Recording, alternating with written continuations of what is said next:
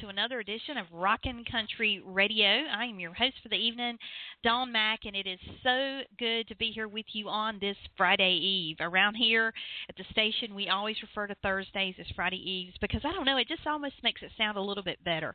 Um, but I know the weekend is upon everyone, and uh, it's been a big summer for a lot of people. You've been out and about, going to festivals, seeing a lot of your favorite artists, and uh, it's just been a great time. And uh, I tell you, can you believe we're into almost mid-August? I mean, we're almost winding down to Labor Day. I was thinking about that the other day. I was thinking, you know, a few short weeks from now, it's going to be Labor Day. Um, and then fall and and uh football season and I'm like, "Whoa, slow down." But um I'm so excited for our show tonight. I, I'm very excited about our guest, and I want to welcome everyone in. If you are a first time listener, oh, you have chosen the right night to tune in, let me tell you, because our guest tonight you're going to absolutely love, and he is really moving and shaking in the world of country music. And before I bring him on, I want to give you a little background on who he is, um, in case you don't already know. Um, he is a country music newcomer who is making his way into the hearts of music fans of all ages. Um, he was named Country Music Association's Who's New to Watch artist in 2014, and he is becoming one of country's hottest new stars, rocking stages across the nation. And every time he picks up his guitar and starts to sing, you know this guy not only has the roots for authentic country music, but the heart to back it up. He um, released his debut single last year entitled Blow These Speakers Out, and country radio really, really grew to love him. They embraced it, and he rapidly earned the respect from radio and ind- industry executives, um, and they actually have referred to him as the next Brad Paisley. Wow what a what a compliment. And um, at only 19 years old, folks, believe it or not, um, it, he's already proven that nothing will stop him. And um, he's been on the road performing every chance he can get, especially this summer. He has been exceptionally busy, and he shared the stage with Rodney Atkins, Joe Nichols, and the Oak Ridge Boys, just to name a few. And he's quickly become a crowd favorite because of his music his warmth, his charm, and his all-American values. His follow-up release is all it's excuse me, ain't my fault, which I absolutely love. It's a great song, and um, many many people love him, especially his fan club called the Rowdies. So without further ado, I am very excited to welcome to our show tonight Mitch Goudy. Hello. Howdy, how are you doing? I'm doing very well, thank you. And you? I hope you're doing well. Oh, I'm doing great. I just got a cup of coffee, came down from the studio, and uh it's it's great. I heard it's a Friday Eve, so I'm, yeah. I'm really enjoying myself. I'm excited to be here.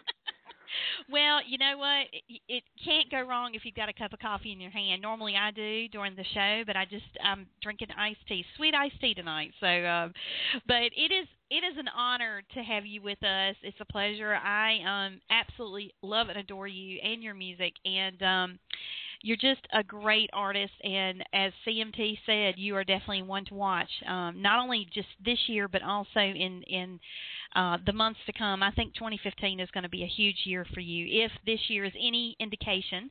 Um, so, congratulations on the success of your early success, and also the success of your latest single, "Ain't My Fault." Well, thank you so much. Yeah, it's been uh, a crazy, crazy 2014. I I really had no idea the type of uh, things I was getting into. I when I made my first album, I solely made it because I was playing a lot of coffee shops and bars and um little venues and my fans kept telling me, "Hey, we want to listen to your music." So I decided to make my first album and just put a few of the songs. I I write a ton of songs and I put 12 of my favorites that I wrote on an album called Wild and just released it and uh it ended up in the right hands and things started to really take off and I started performing more and uh I guess now I'm just holding on and just enjoying it. I mean, this year has been the the biggest year that's uh, ever happened to me in my music career. I've been doing this for just a little while, but um I'm I'm enjoying it and I'm also just so excited for what's coming up too. Uh, yeah, you've got a lot of great big plans coming up. I mean, for someone who let's just say you know you, you weren't really t- taking it like uber seriously to begin with you were just kind of doing it and and because you enjoyed it obviously and it's just grown from that into now this phenomenon where you are becoming a fan favorite in the world of country music and a I mean you really making a name for yourself. So um yeah, hold you better hold on is is the right way to put it um because you're definitely in for the ride of your life, I do believe. Oh well, thank you so much. Yeah, it's uh, I'm blown away by the support, and uh, one of the things, one of the coolest things that's happened. You touched on it a little bit before was uh, the creation of the Rowdies or uh, my fan group. So they've always called me Rowdy Goudy. Even when I was younger, they called me Rowdy Goudy, and uh, there's definitely a reason for that, but I can't tell you that until you come to my show, and I think it Ah. will explain itself.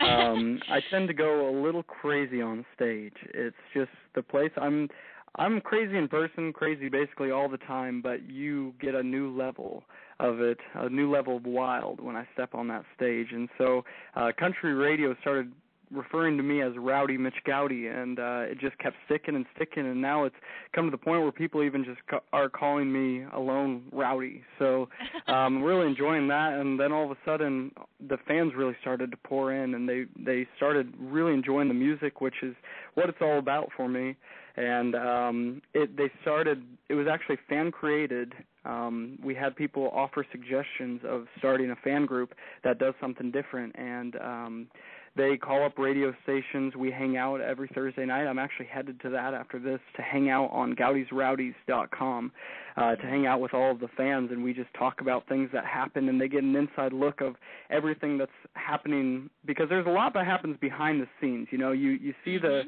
the song moving up the charts and you see a lot of shows but there's a lot more to it. Um so you really get to be a part of the inside action of everything that's going on in the in the rowdy world is what we call it. And so they've they've definitely been so influential and i'm i'm just really enjoying that. And it's so cool to go to the shows. We have rowdy t-shirts ones that say hashtag rowdy on it. And uh it's so cool to show up to a show and have people singing your music. I mean uh, i'm only 19 years old and to think that people know my songs through and through. It just blows me away. I- i mean obviously that's the dream. You want Mhm. people to do that but y Yeah. you don't expect it. And uh the fact that you show up to a show and people are already wearing your t-shirts and singing your songs and uh it's it's just blown me away. And i'm i'm feel beyond blessed and just like like you said holding on well, you know, I'm glad you answered that. That was going to be one of my questions: is, is where did Rowdy come from? But obviously, you know, your last name being Goudy, it it makes sense. But I think that's awesome, and major mad props to you for taking time out of your busy schedule because I know how hectic it is to be on the road touring, especially when you're in the midst of making an album on top of everything and taking time out to spend with your fans in such a personal way, you know, and just meeting them and interacting and and talking about everyday life or everything under the sun. And um and it really gives them a great glimpse into you know who you are as an artist which i think is awesome because um as you said there is much that goes on behind the scenes that you don't always see and you don't always hear on the record you know or in the music Mhm. and you don't always see it on stage. So it's really cool that that you're getting you know on that level with your fans Oh, for sure. And you know, it also it helps me too. You know, people say, you know, you're doing you're doing your fans, you know, you're you're helping your fans out and you're doing them a favor. No, no, no, no, no. That's not the way I really view it. Uh I view it the opposite way. You know, they're the ones out there calling up the radio stations. They're the ones showing up to the show, showing their best friends the song, you know, uh posting posters all over the place. I mean, they're the ones that are are doing it and it's just it's something so cool for me to talk about the songs. And um we hang out on a website and there's a webcam and there's also a live chat room kind of um and they'll ask me questions. And so it can be it can be anything from like do you like mac and cheese to uh why did you write my girl's hand which is one of the songs that uh really did well on the record and that type of stuff means a lot and I also get feedback from them because I'm not only making music just for myself and yeah it's a it's me writing songs and I'm also I play a lot of the instruments and I I'm a producer on my album Um, so I'm very involved in the music, and a lot of it is for yourself. You write for yourself, and you write what you truly feel.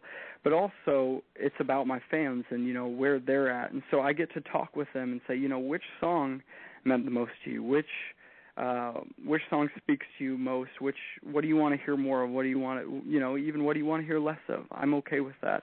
And um hearing what they truly like and catering or having that in mind when I'm making the music completely changes it because it becomes a community thing instead of just this is my music, this is the way it is, to this is about us this is mm-hmm. a community that we're creating, and uh, so when they when they hear the songs, they're getting to hear a perspective that they might have had even a say in the creative aspect of the music. So I think that's that's super cool, and I, I really don't know if that's uh, common or uncommon, but you'll find out. They call me Rowdy Goudy for a reason. I don't really care. Uh, I kind of do what I want, and I really, I really do care about my fans, and they're they're the ones you know i it's so cool to hear like a song like stained glass on my album can speak to so many people because of some of the things i was going through. Uh if you haven't checked out that song there is a video on youtube.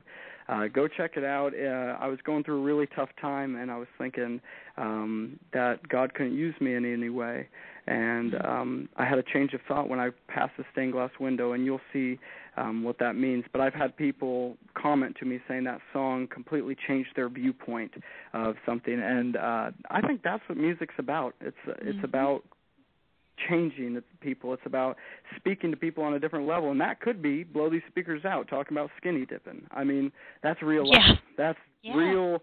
Uh, Seventeen-year-old in Iowa. That's where I grew up. Uh, that's that's what happens, and so you know, speaking to that emotion also along with a heartbreak, My Girl's Hand, or um, something Christian, which is uh, stained glass. So yeah, mm-hmm. I just gave major props to the Rowdies. I know I've talked about them a lot, but man, I'm just so thankful for them. Well, you know, I just have to commend you because you know, country music in general artists in country music are so appreciative of the fans and now with social media being what it is fans really have a voice in you know taking their favorite artist and pitching them to their local radio stations and to Sirius XM and, and all these different mediums out there where their favorites can be heard. And fans are playing a huge role in an artist's career, in country music especially today. And you know, I, I just love the fact that you, like so many artists in this genre, recognize that without your fans, you don't have a career. I mean, the fans really are what make it. They're the ones that, you know, buy the memorabilia, they buy the music, they come to your shows, you know, and they're so supportive and loyal to a fault almost. Um, you know, and and it's just phenomenal that you not only recognize that, but you really try to give back to them. Um, and and I think your perspective is correct. I, you know, it's um it really is all a matter of how you look at it. But when you're when you're making music, I mean, the whole for me personally, when I hear a song that I can identify with. um you know, you naturally assume that the artist has some attachment to the song, but um, when you can write a song that really speaks to people, which music is a universal language as it is, you know you've done something you know because you're not just writing it for yourself as you said. It's it's really all about those who are going to hear it. And um and so i think that that is absolutely phenomenal. And um and you know I, I have not seen your show, and I can't wait till you get to North Carolina or somewhere close to North Carolina so I can get out to see your show. Because when I'm envisioning Rowdy, in my mind, I'm thinking you said you just got to come to my show to see what I do on stage. I'm kind of thinking back to those days of Garth Brooks because he got rowdy on stage. You know, he really did some mm-hmm. crazy things and just out there and you know, and that is what made people I think one facet to him that people just absolutely fell in love with. And so when you said, you know, I get rowdy on stage and and I'm called rowdy for a reason, that kind of popped in my mind. Um and so that's why I look forward to seeing what you do on stage because obviously the stage is the place where you are the most comfortable and you just kind of let loose and just have fun and I'm sure the fans just absolutely eat it up. Oh man, it's uh that comparison it it happens a lot Garth Brooks. Um and that's that blows me away one because it that's big big big big shoes to fill but uh and I just even that same you know sentence is crazy the fact you put the same name with that. But uh I I do get that comparison a lot and it's not necessarily that we do necessarily the same thing on stage, but it I would definitely consider myself an entertainer. Mm-hmm. Uh just like he is and uh I I grew up listening to him. He was incredible on stage and it it's all about I don't know, for me it's huge about the live show you know, delivering that emotion. People come to be changed. People come to enjoy a moment with you. And we just wrote a new song that's going to be out on the record, and it's called "Turn Up the Cowbell." And uh, I know it sounds really quirky and weird, and it totally is. Uh, it was meant to be that way. I was I sat down to write this song, and I said, I need a song that will just make the crowd go crazy, something people mm-hmm. can just have fun to. And uh, I had this crazy idea about a cowbell um, and I wrote the song, and my management, I showed it to my management right away, and they thought I'd completely gone off the deep end, but that's typical when I show them a song. Uh, and then they they said they didn't necessarily, they didn't know if that was the right direction. And so I went, a, I kind of went a little bit against it, and I went home and I made a demo myself, which is when you put guitars and drums to it, just in my own little recording thing. And um, I came back, and then all of a sudden it clicked, and he said, "Well, why don't you try it live?" And we tried it live down opening up for CMA Fest. Um, and the hook of the chorus is, "Can't you tell these folks come out of their shell when someone yells, turn up the cowbell?" Well, I, you know, I, I did that a few times, and on the very last chorus, I can't, I went, "Could someone yell?" Stopped, and the place was packed, and people just screamed turn up the cowbell. Oh wow! And that was like, oh man, that was just such a moment because I that's what that's what I live for, that type of energy. And I'm already going in, insane on stage, but my my show was meant for you to come and have an amazing time too. I mean, it's not about sitting and listening to the song and there's songs that you do you sit and listen to, but it's also you're a part of the song. You mm-hmm. you know, you're an instrument in the song even in your own way. You clapping along, you singing along, you dancing along, even if you're the type of person that likes to just sit and watch someone go crazy on stage. That's what the Rowdy Goudy show is about. So, uh I yeah, I can't wait to make it out to around the Carolina area uh, and we will bring a rowdy show that way. I would I would love that because I remember I grew up an '80s girl. I grew up a, a rock girl, and and the first country show I ever went to was Garth Brooks, and Trisha Yearwood just had her first single out, and she opened for him. Had never been to a show, and I was expecting typical, stereotypical, that he was going to be sitting on a bar stool strumming a guitar. And man, I couldn't believe it. I ended up seeing him four times. So I can only imagine what the energy of your show brings um, in the here and now for your fans. And really, I think that's that's one of the magical parts about seeing a live show um, is is all that energy that you know the artist has and how it it gives off and the it feed, the crowd feeds off of that and it really does ignite a venue like nothing else can. And I love shows that are full of energy like that. It's just so entertaining and uh, it's just a, a well of a good time. So um well you are currently um working on your brand new album and uh how is that coming along? Oh it's so much fun and uh, this time I've taken on a few more roles. Uh, this is my my this will be the second album that I'm releasing, and um, I'm a little more old. I'm a little that sounded bad. I'm a little older. More old makes me sound like I'm like I'm really old. I'm 19. My goodness. Uh, but you no, are not old, I'm a little older. I'm a little more experienced, which really comes in handy in the studio. And this time, I'm definitely more involved in the creative aspect of it. Um, I'm the I'm a playing a lot of the instruments on it, and I'm also producing the project. So um, as far as getting my hands into music and making it exactly the way uh, we need it to be, this is just a dream come true. The fact that I'm having the opportunity to do this and getting to help mold the project too. Um, and as far as the material goes, I could not be more happy with it. And I, I know obviously that's the thing to say as an artist. You know, you expect them to say this is the best project in the world. You know, but it truly is. It's exactly what I want to say right now. And uh it's it's fun, it's rowdy, and it's also got some very touching moments too. I mean, you're going to really enjoy the album. I hope you guys check it out. Uh it's going to be out hopefully uh this fall and there will be a set date, so definitely tune into my Twitter. I tweet a lot. Um, tune into my Facebook, my Instagram, and you'll find out more information about that.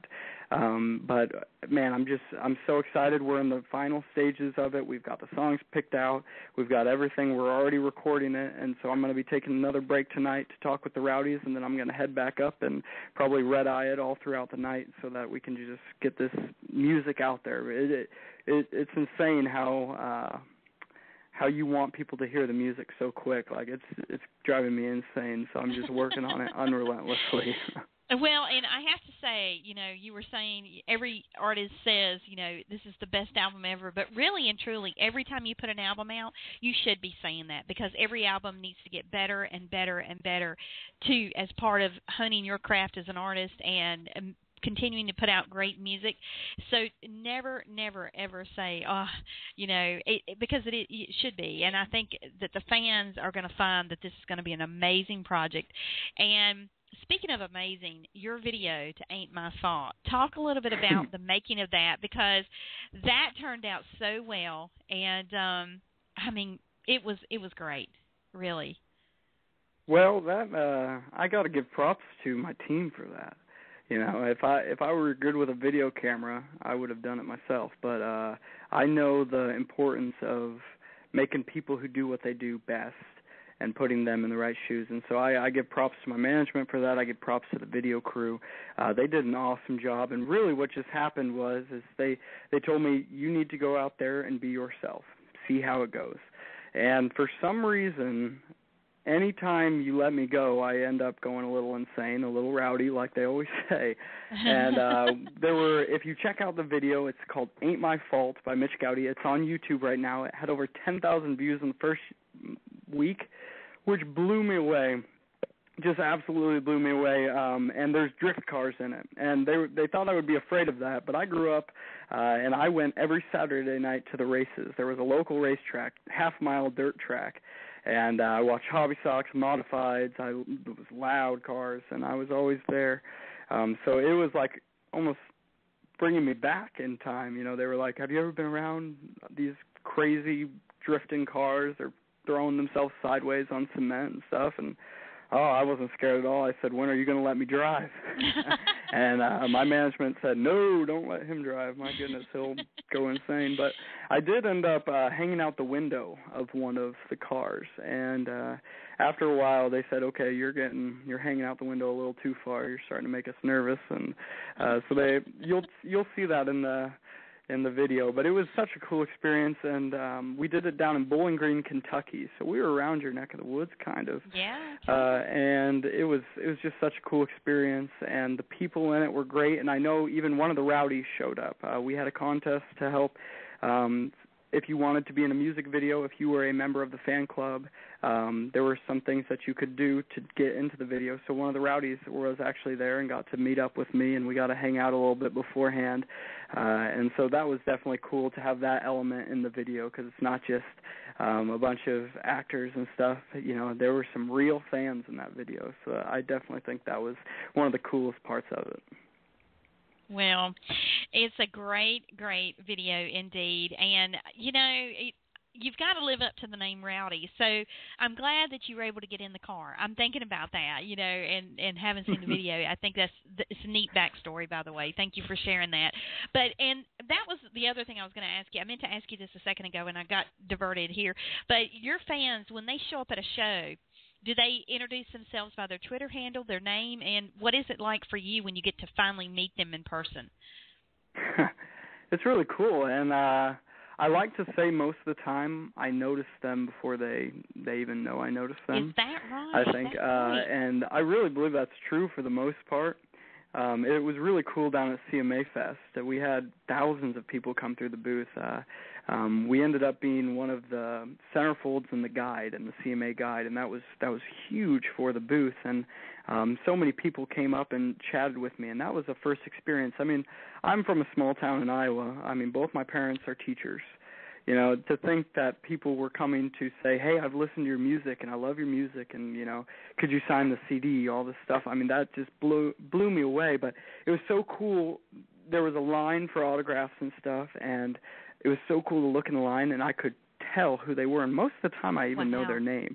But I, I let them introduce themselves, and then I kind of laugh and I'll tell them something that they said on Twitter, and they're like, "Oh my gosh, you actually," you know. I'm like, "Yeah, of course, you know, I pay attention to that stuff." So mm-hmm. it's really cool. It's uh it really is it's a it's a community like i say you know we're yeah. we're a bunch of friends and that's it's weird to say that but it's also cool to say that you know and well and, um i've not go ahead Okay. I was just going to say it's quite amazing that you have such, you know, a keen mind in that way that that you can actually remember bits and pieces about each person that you've interacted with on social media. And when you see them in person, you know, you you already know them per se. And you know, when you think about how many people you've interacted with since this kind of blew up, you know, and has become as big as it has, that is so amazing. And I can't imagine what that must mean to your fans to know that not only do you acknowledge them, but you know who they are before they can tell you, which is rare, mm-hmm. really, Mitch. I mean, that's a, that's a very unique quality,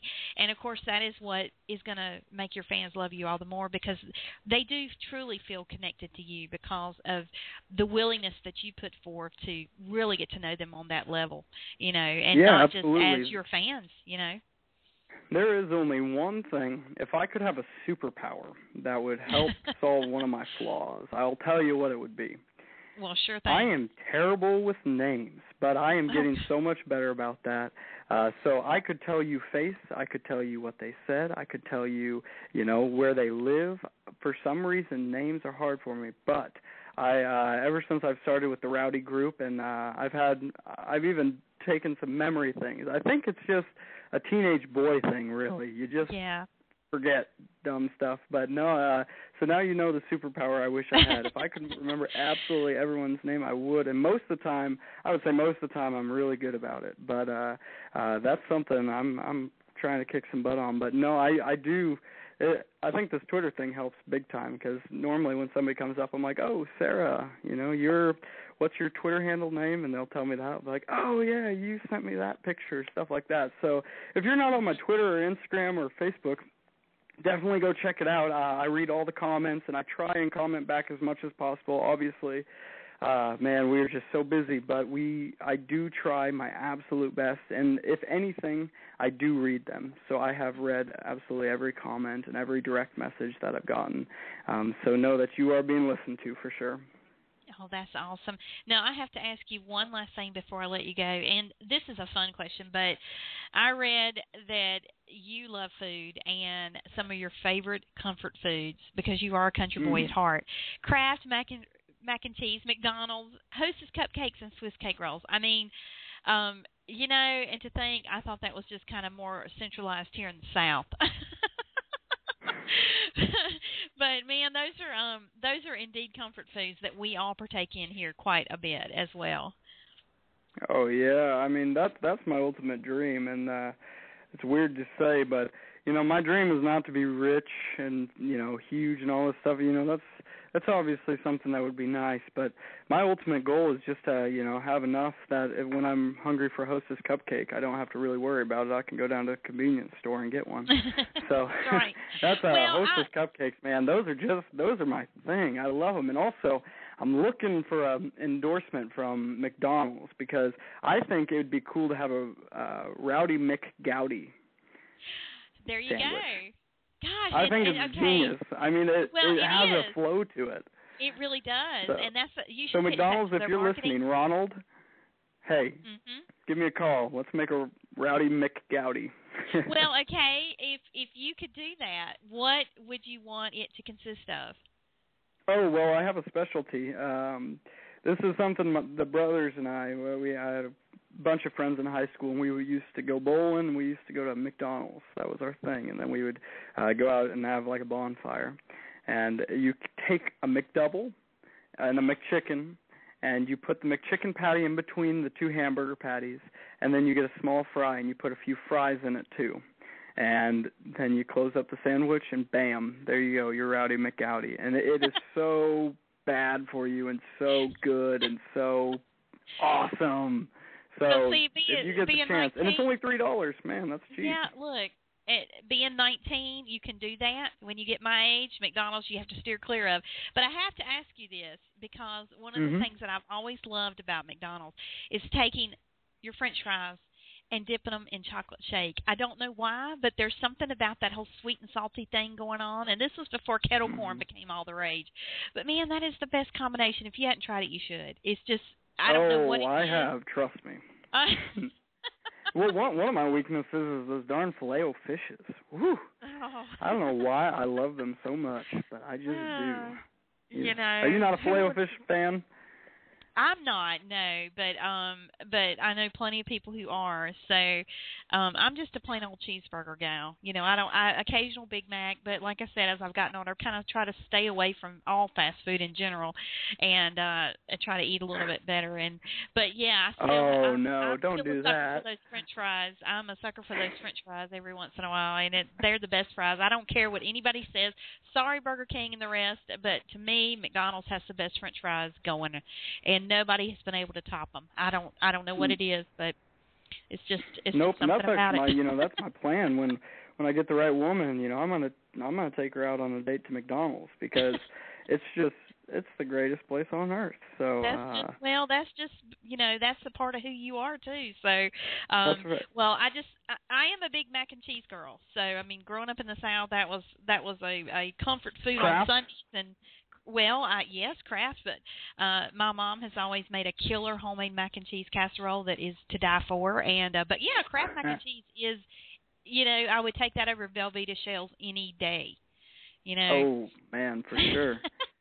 for sure and it's something i can cook you know i'm a i've been having to learn how to cook a lot of things on my own because i can't eat all out all the time and uh yeah. man yeah. that's something it's it's just quick and easy i mean i messed it up a few times which all you have to do is read the box but Yeah. i forgot to do that i'm one of those guys that refuse to read directions you know i always Oh, get a product boy. i'm like Uh, oh i know how this okay. is but i because i'm a pioneer at heart so uh-huh. well, uh normally i figure okay. it out after messing it up six times and i finally read the directions and it works so Well, you know that it, you do you do things your own way, and it always will work out. You're right. You know that's how it goes.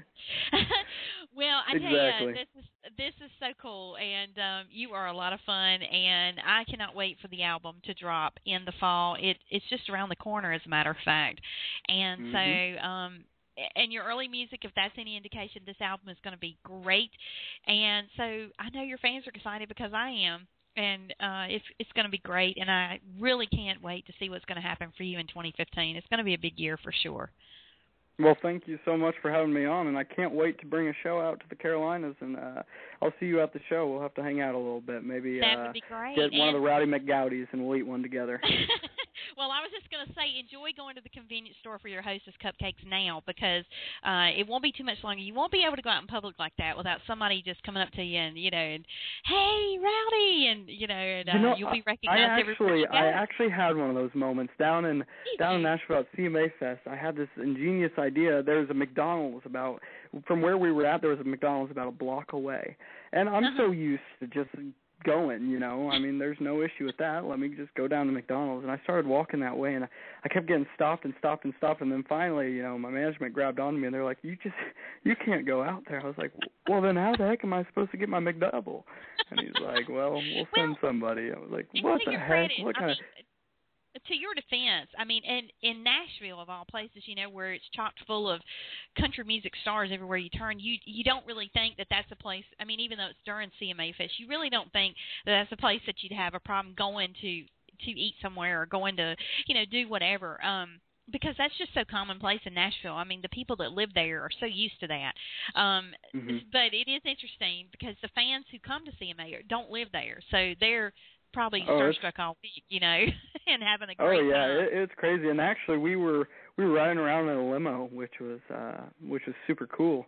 But uh they asked me where I wanted to go out to eat, and I said, "Well, can we pull through McDonald's with this thing?" we and we go to the actually did.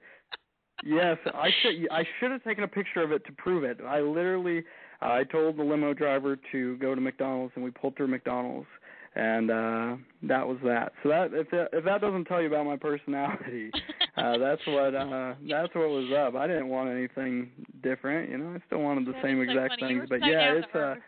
I love it. yeah, and, it was and those uh, people at McDonald's are probably like, "Oh my gosh, there's some big star coming through at the drive-through ordering the McRowdy Goudy or whatever." You know, I mean, really seriously, it's just so hilarious.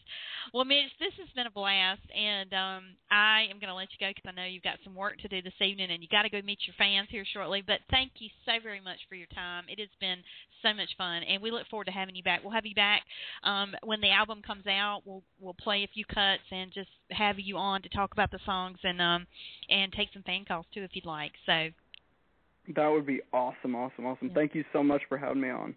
Thank you. It's been amazing, and take care. And we wish you all the best. Thank you very much. You have a good rest of the night. Thanks. You too. Ah, what a nice young man. And I say young, 19 years, but man, he is so well spoken and so beyond his years. But he's a phenomenal artist. And uh, we want to say a huge thank you to Mitch Goudy for being our special guest this evening. And before we wrap tonight, we are going to play his latest single, Ain't My Fault. But before we get to that, I want to um, toss out where you can find him on social media. You can go to mitchgoudy.com and uh, check out his website, and it's just chock full of information, all of his upcoming uh, dates and. Um, you know his videos and this, that, and the other. I mean, he's just got so much going on.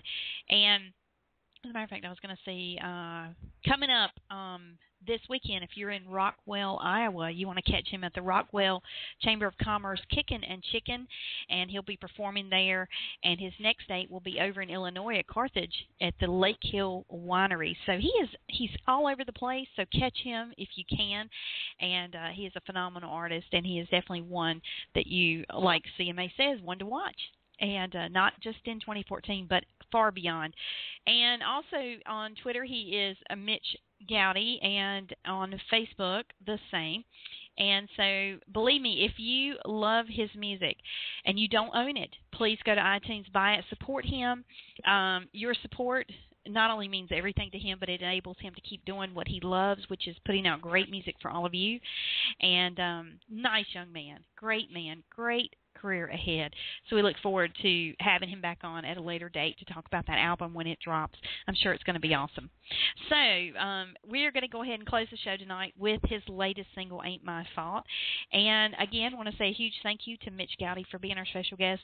Many thanks to all of you as well. And um, we normally are not here on Fridays, but we will hear, be here tomorrow afternoon at 2 p.m. Eastern. We'll be back for another special edition of um, our Rockin' Country Radio show with another great indie artist. So you definitely want to tune in for that. We'll be back on Saturday night for Highway Underground. We'll be featuring Mitch's song and much, much more uh, that you'll be hearing from from your favorite indie artist. And if you get a chance, go over and check out our website, rockincountryradio.com. You'll see all the great guests that we have coming, and it's just chocked full of information that um, you can um, find out about these artists and the music that we play and we represent here. So that is going to wrap it up for tonight. But be back here tomorrow, 2 p.m. Eastern. We'll see you then. Take care, all. Have a wonderful night. We'll close with Mitch Goudy. Ain't my fault.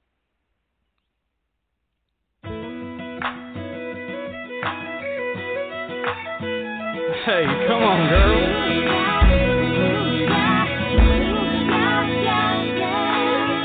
It's your sweet strawberry smile that makes me wanna taste those lips. Silky twin sundress makes me wanna get over there and rock your hips. I can't concentrate, always running late. Let me set this straight, ain't my fault.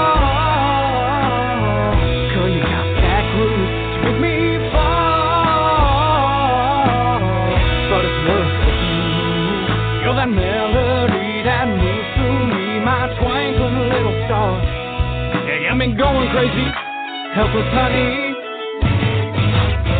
But ain't my fault.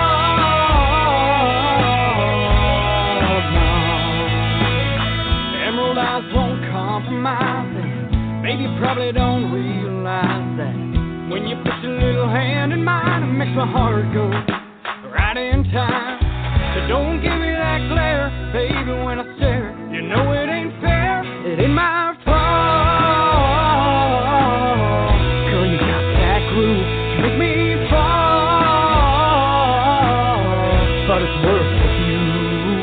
that melody that moves through me, my twinkling little star. Yeah, got me going crazy. Helpless, honey.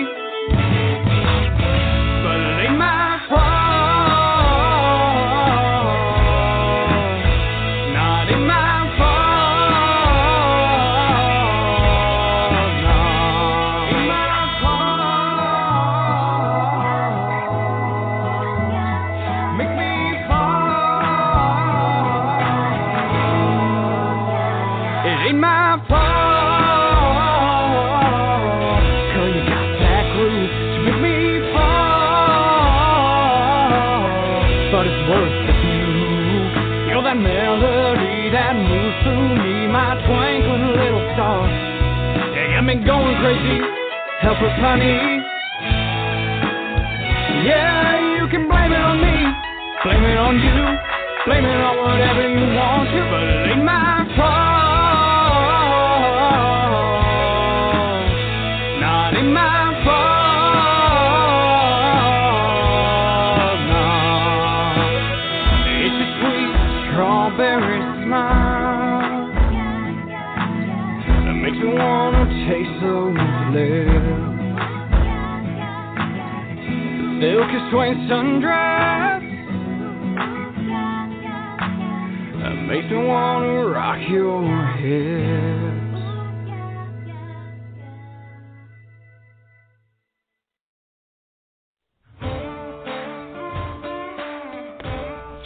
Check out Rockin' Country Radio on the web. Find us at rockincountryradio.com, on Twitter at rockin underscore CTRY, and on Facebook at Rockin' Country Radio.